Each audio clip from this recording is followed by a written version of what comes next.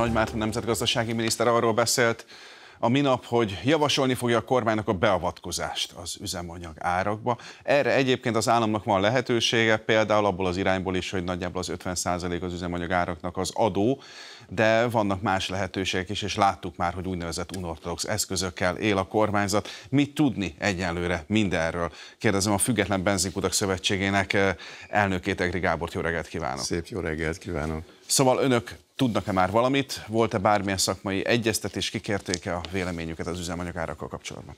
Hát először is tényleg eh, azt szeretném elmondani, hogy borzasztóan szomorúak vagyunk, és ugyanakkor dühösek is. Tehát az elmúlt heteknek a kommunikációja, és ami a minisztérium részéről, a Nemzetgazdasági Minisztérium részéről történt, meg a fejlemények, amik történtek, nagyon rossz irányba mutatnak, én azt gondolom. A HVG-nek két bejegyzésére szeretnék utalni. Ugye megjelent egy, a miniszter úr tájékoztatott róla, hogy a Magyarország üzemanyag árak magasak, és erre egy KSH statisztika megjelent. Most erről a KSH statisztikáról a statisztikusok a következőt ezt szeretném felolvasni. Ez egy kísérleti statisztika, vagyis gond lehet a minőségével, módszertanával, pontosságával, megbízhatóságával, koherenciájával és összehasonlíthatóságával. Tehát, hogyha egy kormány egy ilyen munka alapján hoz döntést, Hát ez elég nagy bátorság kell. A, már csak azért, hát, hogy mondjuk el a nézőknek, hogy a KS miért fontosak, azért, mert a régiós középmezőben szeretné tartani a kormány Magyarországon az üzemanyagárakat, időre időre megmérik, bizonyos módszertan alapján, hogy mennyibe kerül Magyarországon átlagosan az üzemanyagár, és hogyha ettől a régiós középértéktől el, eltér fölfelé, akkor jön Nagy Márton és mond valamit. Igen, hát ezért fontos a statisztikai adat. Módszertanak önök mit kifogásolnak ebben a, hát a, a statisztikában? A, mit vettek figyelembe, és mit nem? A szándékot értjük, az, az támogatható is, de addig, amíg 50 százalék egy liter üzemanyagon az adótartalom, addig azt gondolom, hogy a kiskereskedelmi árés, ami 7%, amiből további adókat kell fizetni, tehát iparüzési adó, társasági adó, Robin Hood adó, TB, SZIA, fenntartási költségek, bérek, stb. nem akarom, csináltunk egy összeállítást, kb. 60 tétel kell még ebből a 7% árésből fizetni. Addig a magyar kormánynak nagyon komoly játéktere van, ami az árakra vonatkozik. És még egy nagyon fontos HVG-be úgy szintén megjelent, amit szeretnék elmondani, az adókra fog ez vonatkozni. Nagy Márton minisztériuma komolyan levezette, hogy az emberek azért nem esznek eleget, mert drága a benzin. Hát megnéztük, ugye az Agrárminisztériumnak a honlapján kint van, hogy 90% adóvisszatérítést kapnak a magyar mezőgazdasági termelők, tehát azt jelenti, hogy közel fél áron kapják az üzemanyagot 97 liter per hektáron, tehát ez azt jelenti, hogy, hogy nem értjük ezeket a kommunikációkat a minisztérium részéről. Nem megyek el a boltba, mert tankolnom kellett a kocsit. Értem. Hát, hát én nem kapok 90%-os visszatérítést. Nem, a lakosság nem. Ő, ő a lakosság rendesen. Ennem viszont kell. Igen, tehát a lakosság nagyon rendesen és nagyon szépen fizeti az adókat, a kormányzatnak rekordméretű bevételei vannak az áfából az első negyedében. Tehát én azt gondolom, az egész adórendszert át kéne tekinteni, mert a különadók plusz az áfa, a lakosság megtakarításait és rendkívül módon megterhel. Jó, azt tudjuk-e már egészen biztosan, hogy az a nagyjából 7%-nyi kiskereskedelmi árés lesz az, ami a kormány üzemanyagárszabályozási terveiben célterületként vagy célösszegként szerepel?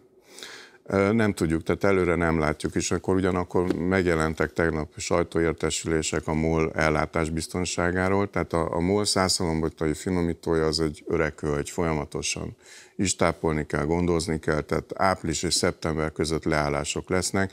Tehát a benzinástop megmutatta, hogy a MOL önállóan nem... Vegyük az azért lesznek leállások, mert éppen, hogy ön is mondta, hogy egy komoly fejlesztésbe kezdenek, korszerűsítésbe, és a MOL célkitűzése az, hogy a Magyarországi üzemanyagpiac akár 70%-át el tudja majd látni. Igen, de akkor még mindig fennmarad egy 30%, ami importból van. Tehát amennyiben és ha a kormány hasonló lépést hoz, hogy az importőröket kiszorítja a magyar piacról, akkor annak nagyon komoly kihatásai lesznek az ellátásra. Megint sorok lesznek majd a kutaknál? Bármi előfordulhat. Ukrajna most kapott egy 61 milliárd dolláros katonai csomagot, 300 kilométeres hatótávolságú rakétákkal benne, tehát a csihipúji az orosz-ukrán fronton folyni fog, Ukrajnán keresztül megy a battai finomítónak a kőolajellátása, közel-kelet, plusz ezek a technikai kérdések, óriási a rizikó. Tehát én, én nagyon szeretném arra kérni a kormányt, hogy felelősen döntsön.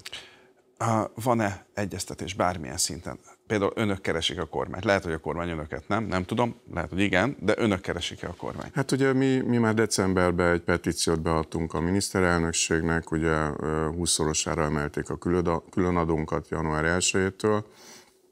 A minisztériumot is, a gazdasági minisztériumot is megkerestük írásban, semmiféle reflexiót nem kaptunk tőlük. A Említette, hogy Magyarországon milyen nagy az üzemanyag árban az adótartalom. A környező országokban ott hány százalék az adó az üzemanyag? Lényegesen kevesebb, tehát egyrészt nincs 3 százalék külön adó. Tehát a maga most jelenleg a 3%-ot vetítem, az is ilyen 15 forint körüli ár per liter. LKR 8 forint 50 fillér per liter, környező országból ezt nem, nem, így, nem kell befizetni, nem így kell befizetni.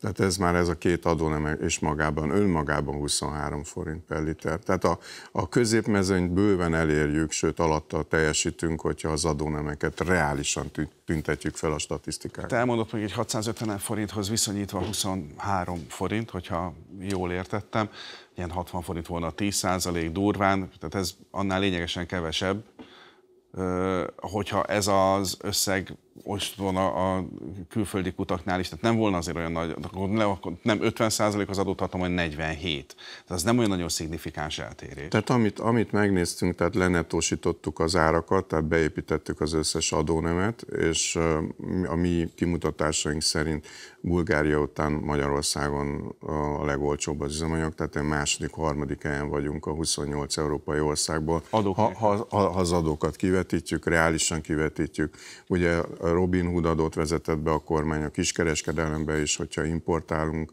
tehát az 41 százalék, az iparűzési adó az is nagyon jelentős, tehát túl vagyunk adóztatva. Tehát ma azt az elmondható, hogy a magyar lakosság túl van adóztatva, a vállalatoknak a különadói pedig beépülnek a zárba, ezek a lakossági fogyasztási árakat terhelik és akkor nem tudunk enni, mert magas az üzemanyagár. Igen, tehát ugyanakkor a mezőgazdászok 90% visszatérítést kapnak az adóból. E, jó, e, milyen kifutási lehetőségeket lát, mert a lakosság tényleg úgy gondolja, hogy e, nehéz neki most már befordulni egy benzinkúthoz. Gondolom a forgalmi adatokon is látszik, hogy nem egy dinamikus növekedés, most vegyük le belőle, hogy turista szed. Tehát az éven belüli ciklikusság az nyilván meg fog majd jelenni, de egyébként az összvolumen az kevesebb. Tehát ugye a GVH is kimutatta a magyar elképzést, tehát a múlnak az elképzése és nemzetközi edzések a CIFMED alapján történnek, ez egy. Kettő, az OPEC árkart... Ezt mondjuk el egyébként hogy értsék a nézők. Ez, ez a CIFMED, ez egy nemzetközi jegyzés, ahol fel vannak sorolva napi szinten a dízel, benzin, különböző termékeknek az árai, és ez ala, ezt veszi alapul a MOL, tehát ez alapján képzi a belföldi nagykereskedelmi és kiskereskedelmi árakat a, a, az olaj, ugye, ami az alapanyaga a finomítóknak, az pedig a Brent vagy a VTI jegyzések alapján napi szinten másodperces változással változnak. Tehát a magyar kormánynak és a MOL-nak nagyon kicsi a ráhatása az üzemanyagárakra, illetve a magyar kormánynak olyan szempontból jelentős, hogy 50% az adótartalma üzemanyagáron.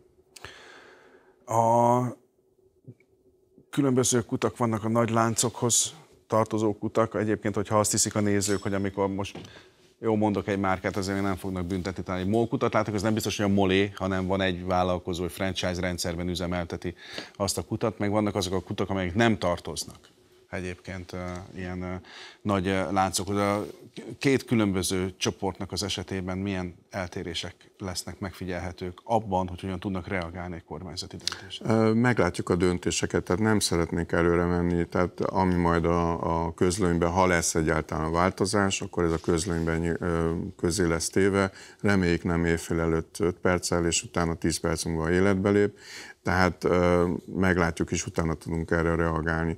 Én azt gondolom, és... És arra gondolok, hogy például, hogyha van egy olyan kúthálózat, ahol ugye a franchise rendszerben működnek, de mondjuk a történetnek a másik végén áll egy nagy finomítóval és termékelőállítással rendelkező láb is, akkor azért az egészen máshogy néz ki. Természetesen. Tehát jelenleg, van ilyen osztrák is, van ilyen magyar is Magyarországon. Jelenleg ugye az ástok miatt, amit, ami el lett rendelve, két eljárás folyik. Az egyik a Strasburgi Emberjogi Bíróságon, a másik pedig a GVH-nál, illetve a a Európai Unió Versenyjogi Bizottságánál. Tehát vizsgálja mind a két úgymond hatósága 22-es ástopot. Olyat is lehetett hallani, hogy nem egy vonal lesz meghúzva, hanem egyfajta dinamikus árstop lesz, hogyha igaz. Igen, tehát mi sok mindenről hallunk, de igazából a konkrétumok tud, tud, tával vagy konkrétumok ismeretében tudjuk utána a reakciókat, vagy e, akkor tudjuk elmondani, hogy mit tudunk erre mi reagálni. Vészforgatókönyvek vannak különböző esetőségek? Hát én azt, én azt gondolom, hogy a, a 22-es év az nagyon megrángatta a mi szakmánkat, tehát nagyon elkeseredett úgymond a, ez a terület, és, és mint családi vállalkozó borzasztóan rosszul érzem magamat, hogy, hogy Magyarországon fektettem be. A, az, hogy megnehezítette az életüket, azt jelenti, hogy becsődölnek? 53 kút zárt be 22 végéig. A 53, a 2000, kb. 2000 kútból. Ebből az irányból az nem néz ki egy olyan nagyon nagy tarvágásnak. Hát, én tudom, értem, aki ott él család, tehát véletlenül sem lekicsinyelni akarom, csak számok hát, A tarvágásnak nem néz ki, viszont egy folyamatot mutat. Tehát az, hogy, hogy, hogy az emberek föladják a vállalkozásukat, értékesítik a benzinkútjukat, vagy be is zárják, tehát rossz irányba mutatnak.